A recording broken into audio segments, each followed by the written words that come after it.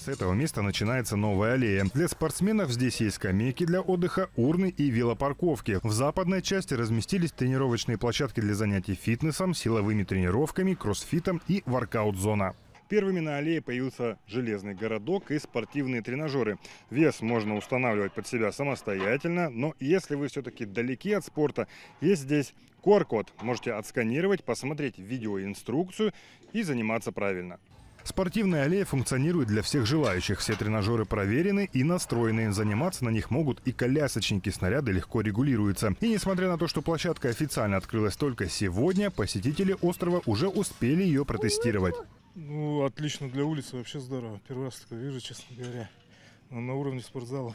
Вообще отличная идея. Я, кстати, вот по городам Сибири сколько ездил, только в Красноярске вот такой парк в центре города, зеленый, со всех сторон рекой омывается. Еще есть тренажеры на улице, это вообще здорово. В восточной части аллеи обустроена игровая зона. Ее идея в том, чтобы любой желающий мог попробовать игровые виды спорта без специальной подготовки. Здесь располагается крытый навес с теннисными столами и площадки для игры в бадминтон. Все необходимое снаряжение можно взять неподалеку в павильоне проката. Сейчас он работает в тестовом режиме. Нашлось здесь место и для всем известной игры в городки, и даже в питанг. Эта игра пришла из Франции и по принципу напоминает керлинг. Правило элементарное. Бросается вначале питанг, это маленький мячик, и затем к нему бросает каждый уже свои, свои мячи.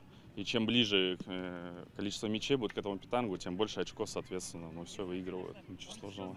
В дирекции парка уверяют, на этом благоустройство не заканчивается. В этом году запланирован большой объем работ. Например, уже скоро появится площадка для игры в мини-гольф. Планируется озеленение. До озеленения спортивной аллеи установка мобильного, мобильной кабины туалета для того, чтобы люди могли спокойно э, и в доступе, в том числе и маломобильные группы, пойти в туалет сходить.